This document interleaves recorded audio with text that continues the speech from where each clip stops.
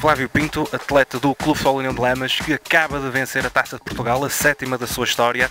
Uh, Zinho, como é que correu esta, esta final para o clube?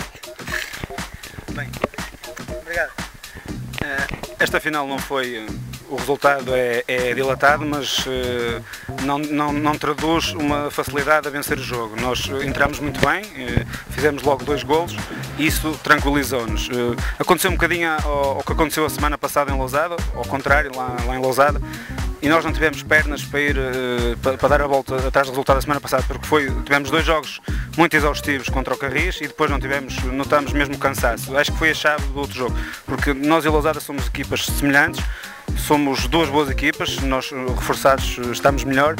Mas pronto, mas foi um jogo em closada. Eu acho que nunca teve a capacidade de ir atrás do jogo. Nós estivemos muito fortes, eh, apesar de ter que dar o mérito ao, ao Lousada, por também debateu-se bem. Apenas só na parte final é que eh, desconcentraram-se e perderam a cabeça e se calhar traduz um resultado mais volumoso no fim.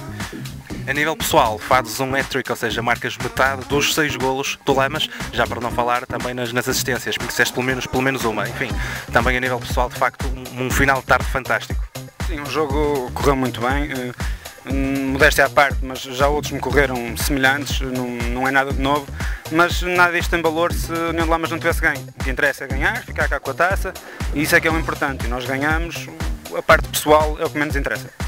E precisamente então, a nível coletivo, o União de Lamas este ano acabou por, por se reforçar. Vocês na próxima época vão manter esta estrutura? Como é que vocês já estão a planear o próximo ano? Esperamos manter porque as pessoas que vieram para Lamas são boas pessoas, é boa gente e integraram-se bem no grupo, são bem-vindos, são da casa já.